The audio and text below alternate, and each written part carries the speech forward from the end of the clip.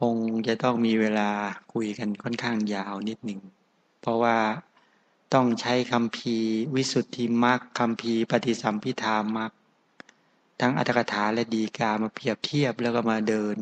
แล้วก็มาสรุปประเด็นกันเพราะเป็นเรื่องใหญ่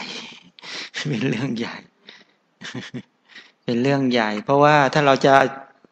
ถ้าเราจะมาคุยกันโดยเฉพาะที่ยาก สำหรับนั้นก็คือกรณีการที่พิจารณาปฏิจจะเป็นอารมณ์กรรมฐานยังไง เนี่ยปฏิจจะคือในแง่ต่าง ๆ ตรงนี้เนี่ยต้องต้องเอาหลักฐานมานั่งกัน แล้วก็ค่อย ๆ ว่าไป แล้วก็จะว่าเออปฏิบัติยังไง ก็ไม่ไม่ไม่ยากตรงนั้น ตอนนี้ก็มาพูดตรงนี้เพื่อให้เราเกิดความชื่นใจนะไม่ใช่เกิดเกินทุกข์ใจนะให้ชื่นใจว่า ฉะนั้นการประพฤติปฏิบัตินี่นะตรงนี้ก็คือว่าเรามาเจริญ อาณาปณสติกรรมฐานกันใช่ไหม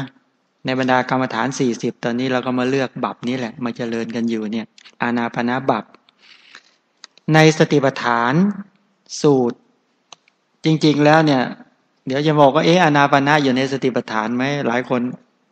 ก็อยู่ในสติปัฏฐานนะใช่ไหมกายานุปัสนาสติปัฏฐาน อยู่แบบแรกเลย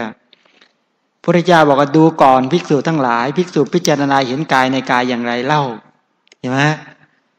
ในในอันแรกเลยจริง ๆ เนี่ย พระพุทธเจ้าทรงประชุม ทรงมีพุทธประสงค์ให้สัตว์ทั้งหลายบรรลุคุณวิเศษโดยประการแล้วต่างๆ ด้วยพระธรรมเทศนาสติปัฏฐานสูตร จึงจำแนกสัมมาสมาธิข้อเดียวออกเป็นออกเป็นสี่ตามอารมณ์ โดยในว่า สติปัฏฐานสี่อย่างสี่อย่างคือ ดูก่อนภิกษุทั้งหลายภิกษุในพระธรรมวินัยนี้พิจารณาเห็นกายในกายแล้วเนี่ยเมื่อจะเอาสติปัฏฐานแต่ละข้อมาจำแนกออกไปแล้วจึงได้ทรงปารบตัดนิเทศวาระโดยในว่ากระถันจะพิกเวดูก่อนภิกษุทั้งหลายเป็นไฉนเป็นต้นท่านอุปมาเหมือนกับอะไรนายช่างจักสารผู้ฉลาด ประสงค์จะทำเครื่องใช้สอยมีเสือลำแพนเป็นต้นใช่ไหมหรือทำประอบหีประลุงเป็นต้น ได้ไม้ไผ่มาหนึ่งลำก็เลยมาผ่าผ่าออกไปสี่ซีกพอผ่าเบ็ดเสร็จก็ต้องมาซอยอีกไหมซอยแต่ละซี่อีกเป้าหมายก็คือเอามาทำเป็นเขาเรียกอะไรไม่ไม่ตอกเอาทำเป็นตอกทำเป็นอะไรเนี่ยนะเอาไปสารเป็นเสื่อลำแพนทั้งหลายเป็นต้น เพื่อจะใช้งานแม้ชั้นใดพิพระพุทธเจ้าก็ฉันนั้นเหมือนกันพระเจ้าก็ฉันนั้นเหมือนกัน พระเจ้าก็เลยมาในกายานุปัสสนาก็แบ่งออกเป็น อาณาปณะบับอิริยาบถบับสัมชัญญะบับปฏิกูลมนสิการบับทาตัวมนสิการบาปใช่ไหมแล้วก็อะไรอีก ป่าช้าอีกเก้ารวมเป็นเท่าไหร่สิบสี่สิบสี่บาปพระเห็นไหม ฉะนั้นในอาณาปณะที่เรามาเจริญกันเยอะอยู่ในสติปัฏฐานสี่ในบัพพาแรกเลย ระพุทธเจ้าก็เลยบอกว่าในดูก่อนภิกษุทั้งหลาย สมณะที่หนึ่งสองสามสี่มีอยู่ในพระศาสนาของพระชินเจ้าเท่านั้นรัฐิศาสนาอื่น ว่างจากสมณะผู้รู้ทั่วถึง นี่แปลว่าพระพุทธเจ้าปิดมุม ว่าพระโสดาบันพระสกทาคาพระนาคาพระอรหันต์อย่าไปหานอกจากศาสนาของพระชินเจ้า ให้มาหาในศาสนาของพระเจ้าเท่านั้นเองนี่ปิดมุมตรงนั้น แล้วก็บอกวิธีการปฏิบัติ อาณาบรรณสติภิกษุในศาสนานี้ไปสู่ป่าก็ดี ไปสู่ควงไม้ก็ดีอยู่เรือนว่างนั่งนั่งคู่บัลลังตั้งกายตรงดำรงสติเฉพาะหน้า ก็ไล่ไปเลยอรัญญกโตวาสุญญาคารกโตวาเป็นต้นไล่ไปตามดับ เพราะอะไรทำไมจึงต้องให้สู่สถานที่สงบอย่างที่ได้กล่าว เพราะว่าจิตของภิกษุนี้ซ่านไปในรูปในเสียงในกลิ่นในรสผลพระและธรรมอารมณ์มานานแล้ว ไม่ประสงค์จะเข้าร่องเข้ารอยของกรรมฐานได้ วิ่งออกไปนอกทางถ่ายเดียว เหมือนรถที่เทียมด้วยวัวพยศฉะนั้นแปลว่าอะไรในจิตพยศนี่ในหลักการตรงนี้นี่แหละ ตรงนี้ก็คือพระพุทธเจ้าก็เลยบอกว่าเอาแล้วให้เข้าอยู่ในสถานที่ที่เหมาะสมและเจริญอาณาปณะอย่างนี้เป็นต้น ตรงเนี้ยในในสติปัฏฐานก็แสดง แสดงในความหมายตรงนี้ก็คือว่าให้เจริญกรรมฐานในอาณาปณะบับฉะนั้นตรงนี้ที่ยกมาตรงนี้ก็คือว่าชี้ประเด็นให้เห็นว่า อาณาปณะเนี่ยเป็นสติปัฏฐาน ทีนี้ตอบตอบประเด็นมีคนถามมาไม่ได้ตอบวันก่อนก็คือ อาณาปณะเนี่ยเป็นสมถะหรือวิปัสนา อาณาปณะเนี่ยเป็นสมถะหรือเป็นวิปัสนาเออเป็นในสองอย่างดังกล่าวไว้แล้วใช่ไหมล่ะอานาปนาเนี่ย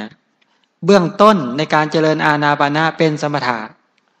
ใช่ไหมล่ะแต่ก็สามารถที่จะเอาฐานของการเจริญนั้นเป็นปัจจัยต่อการเจริญวิปัสสนาญาณเป็นต้นได้ ในรายละเอียดก็ได้กล่าวไว้ค่อนข้างเยอะตรงนี้นี่เออตอบมุมตรงนี้จะได้เกิดความเข้าใจชัดขึ้น ทีนี้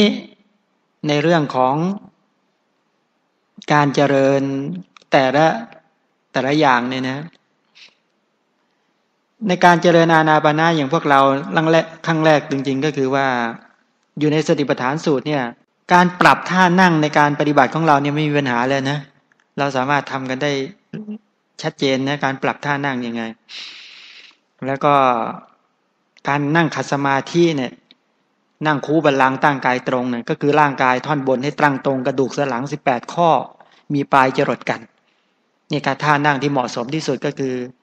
บางคนไปนั่งงอตัวมากเกินไป ไม่แปลว่าอะไร กระดูกสันหลังสิบแปดข้อไม่จรดกันท่านั่งอย่างเนี้ย เนื้อหนังเอ็นไม่ขด ลมหายใจก็เดินสะดวก เป็นท่านั่งที่มั่นคง ตรงนี้นะ เป็นท่านั่งที่มั่นคง ทีนี้พอพอมั่นคงแบบนี้เมื่อเข้าที่เข้าทางแล้วก็ร่างกายก็ได้ดุลยภาพอย่างดียิ่งใช่ไหมเป็นท่านั่งที่มั่นคง ทีนี้กายก็จะเบา พอกายเบาก็จะไม่รู้สึกเป็นภาระนั้นนั่งอยู่ได้นานโดยไม่มีทุกขเวทนารบกวน ช่วยจิตเป็นสมาธิได้ง่ายขึ้น กรรมฐานก็จะไม่ตกแต่เดินหน้าไปได้เรื่อยๆ คนที่นั่งปรับท่านั่งได้ดีเนี่ยท่าที่ทำกันในลักษณะอย่างนี้ เออถ้าเป็นท่านั่งในประเทศอินเดียก็นั่งขัดสมาธิเพชรหงายฝ่าเท้าขึ้น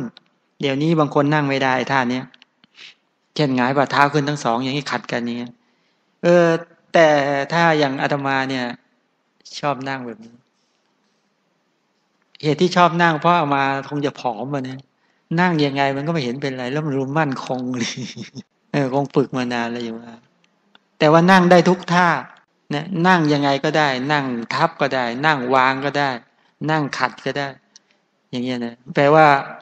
มันอ่อนหมดแล้วเนี่ยนะขามันอ่อนหมดแล้วนั่งได้ อย่างเงี้ยนั่ง กรรมฐานไม่ตก ถ้านั่งในลักษณะนี้วางมือบนหน้าตัก จะให้ชิดท้องน้อยบางเล็กน้อยก็ได้เป็นหัวไม่มือเนี่ยนะ ถ้านั่งให้เป็นท่าเป็นทางหน่อยในยุคก่อนเขาจะต้องประสานหมดเลยนะ ไม่เหมือนปัจจุบันนี้หรอก แต่ก่อนนี่ก็หัวไม่มือก็ต้องแตะกันอย่างนี้นี่แตะอย่างนี้เนี่ยถ้าหัวไม่มือออกจากการนี่หลับ ไม่หลับก็ฟงรู้เลย แต่ก่อนที่อบายที่เป็นคนที่พาพกพวกนั่งมาเยอะมาก นั่งเราก็จะคุยกันมาตลอดเนี่ยนะชอบยินนั่ง ให้ลองนั่งเนี้ย นั่งเบ็ดเสร็จก็มือขวาทับมือซ้ายเงี้ยนะหัวไม่มือแตะกันเงี้ยแตะเบาๆแต่ไม่ใช่ไปเก่งอย่างนี้นะแตะเบาๆเออลักษณะอย่างเนี้ย ถ้าอย่างเงี้ยคล้าย ๆ อย่างเงี้ย หัวไม่มือถ้าแตะกันอย่างเงี้ยนะ อันนี้เป็นท่าที่เขานั่งสืบกันมานานเลยในประเทศประเทศไทย ประเทศไทย แต่ถ้าขัดสมาธิเพชรอย่างเงี้ย มาจากพม่าถ้าพระโบราณจะชอบนั่ง แต่มาระยุกระยะหลังจะเท้าขวาทับเท้าซ้าย จะไม่ไม่ไม่ขัด ฉะนั้นถ้าขัดจริงๆนะเป็นของอินเดียเขาถ้าเท้าขวาทับเท้าซ้ายเป็นของไทย ถ้านั่งเรียงขาเป็นของพม่าแล้วแต่สะดวก แต่ทุกวันนี้บางคนก็พับเพียบก็ผมนั่งท่าไหนก็ไม่สบายเท่าท่านอนก็เออนอนนี่สบายกว่าเลยไม่สบายนั่งเลยคนก็คือตรงนี้ก็คือว่า หัดทำนะ หัดทำถ้าหัดยังไงก็ไม่ได้ก็เอานั่นแหละเก้าอี้ เก้าอี้นั่งบนเก้าอี้แบบอย่างนี้เป็นต้น นั่นคือเป็นท่านั่งก็ปรับแล้วก็อย่างที่ได้กล่าวไว้ในรายละเอียด ขั้นตอนต่อไปก็คือลงมือในการอัตถกถาท่านใช้วิธีอ่าก็คือว่ามีสติหายใจเข้าหายใจออก ตรงนี้ตรงนี้เดี๋ยวเดี๋ยวปรับตรงนี้การพูดนี้ครั้งหนึ่งเนี่ยหลายหลายคนที่เท่าไปสอบอารมณ์มาเนี่ย รายละเอียดพูดโดยหลายครั้ง แล้วก็เอากลับทำกันไม่ถูก อันนี้เป็นเรื่องแปลกจริงตรงนี้ก็คือ ถ้าหากไม่สามารถที่จะอยู่กับลมได้ อัตถกถาท่านจึงเสนอวิธีการนับลม ถ้าใครสามารถทำได้ ไม่ต้องไปไม่ต้องไปนับนะถ้ามันสามารถตั้งอยู่ได้เนี่ย ตั้งอยู่ได้ ก็ไม่ต้องไปนับอย่างที่ได้กล่าว แต่บางคนเนี่ย ทั้งๆทที่นั่งไม่ได้นะแต่นับไม่ได้ นับแล้วเป็นหงุดหงิดเลย เพราะถ้านับถ้าถ้าไม่นับสามารถปล่อยจิตเพลินไปที่อื่นได้ แต่พอนับแล้วรู้สึกโอ้โห มันเป็นภาระตนเองก็เลยหงุดหงิด กลุ่มนี้ก็ต้องระวังใช่ไหมฉะนั้นการนับเนี่ยเหมือนเหมือนคนแก่ถือไม้เท้าเดิน ฝึกเดิน คนผ่าตัดใหม่ ยังเดินไม่ค่อยคล่องก็ต้องใช้ไม้เท้า แต่พอเดินคล่องแล้วไม้เท้าต้องใช้ไหมไม่ใช้ก็เหวี่ยงทิ้งไปไม่ไม่มีประโยชน์แล้วเป็นภาระของคนถือเลยเดี๋ยวนี้เนี่ยลมก็ไอการนับก็เป็นอย่างนั้นก็เรียกขนานาในการนับกำหนดลมหายใจเข้าออกเห็นนับ ช่วงแรกถ้าในนับช้านะช่วงแรกให้นับช้า นับช้าที่กล่าวไว้ในวิสุทธิมรรคตามแบบฉบับ ที่เราเรียนกันมาเลยก็นะเข้าหนึ่งออกหนึ่งเข้าสองออกสองนั่นแหละ ไปถึงห้าแล้วก็มาเข้าหนึ่งออกซึ่งออกสองไปถึงหกไปถึงเจ็ดไปถึงสิบเนี่ย แล้วก็มาเริ่มหนึ่งถึงห้าใหม่ ช่วงสองนับเร็วนะช่วงสองให้นับเร็วงั้นคือการนับ นับไปจนขนาดไหน จนเห็นว่าไม่ต้องนับสติก็สามารถอยู่กับลมแล้ว นี่ขั้นตอนแรก ขั้นตอนต่อมา อนุพันธนา อนุพันธนาก็แปลว่าการติดตามลมเมื่อสติอยู่ที่แล้วคือจิตอยู่กับลมได้โดยไม่ต้องนับแล้วเนี่ย ก็หยุดนับ แล้วใช้สติติดตามลมหายใจให้ไม่ขาดระยะ เนี่ยในความหมายอย่างนี้เขาเรียกว่า ติดตามติดตามลมคนจมูกยาวนี่ลมกระทบที่ไหน ปลายจมูก จมูกสั้นกระทบที่ริมฝีปากนะเท่าริมปาก สังเกตนะ สังเกตส่งจิตหรือสติเนี่ยตามรู้สึก อยู่ที่จุดกระทบ ลมที่ผ่านจมูกเข้าออกเนี่ย ตรงนี้ก็คือว่านั้นการติดตามการตามลมทีนี้กรณีการตามยังเนี่ย การตามจริง ๆ ในชั้นของคำสอนเนี่ยเขาไม่ให้ตามเข้าไปยุดจุดเดียวชื่อว่าตามพอจะพอจะเข้าใจประเด็นตรงนี้นะทีนี้มองมองมองในลักษณะอย่างนี้ก็คือว่าไอ้เรื่อง การที่ทำความเข้าใจตรงนี้มีมีใครจะ มีใครสงสัยในรายละเอียดตรงนี้ไหมพอบอกไปหลายครั้งแล้วเนาะไม่ไม่ถามแล้วนะนี่จะสามโมงแล้วที่จริงว่าจะจะบอกรายละเอียดตรงนี้นิดนึงแค่นั้นเองว่าเอิญมีตอนไปนั่งคุยคุยกันก็หลาย ๆ คนก็บอกไม่ยังทำไม่ถูกเลยอะไรเงี้ยแต่พอดีเห็นมีปัญหาถามมาเอ๊ที่บอกว่าอะไรนะเป็นพระธาฐานของสมาธิเนี่ย อะไรเป็นพระธาฐานของสมาธิ แสดงให้เห็นชัดว่า ถ้ามีความสุขเมื่อไหร่สมาธิจะเกิดได้ง่ายใช่ไหมอู้สมาธิจะเกิดได้ง่ายไอ้ตรงนี้สำคัญมาก โดยเฉพาะตัวเอกคตาเนี่ย ภาวะที่จิตมีอารมณ์หนึ่งเดียวเนี่ย ตัวสมาธิเนี่ย ตรงนี้ก็เป็นตัวองค์ฌานเลยซ้ำไปตัวเอกับกตาเนี่ยนะแต่ว่าเบื้องต้นจริง ๆ เนี่ย ก็ต้องให้นี่แหละ ตัวเอกคตานี่แหละเกิดขึ้นก็ความตั้งมั่นตัวสมาธินี่แหละ ตรงนี้สำคัญมากเลย ว่าไอ้ตัวการเจริญ คือโดยส่วนใหญ่เนี่ย สภาพที่ไม่สามารถที่จะเจริญสมาธิได้ดีเนี่ยก็เพราะว่าบางครั้งกลุ่มศรัทธา กลุ่มความเชื่อมั่นในคุณของพระเจ้าตรงนี้เนี่ยมันต่ำต่ำไปหน่อยหรือบางทีก็หย่อนความเพียรบางทีก็สติบางทีก็กลุ่มพวกสมาธิทั้งหลายก็ให้สังเกตนะ ว่ากรณีที่เราจเจริญว่าศรัทธาเป็นใหญ่ในการน้อมใจเชื่อใจเชื่ออยังไง ถ้าศรัทธาเกิดขึ้นมาแล้วเนี่ยใจมันมุ่งไปอย่างเด็ดเดี่ยว มันก็กำจัดอกุศลคือความไม่เชื่อได้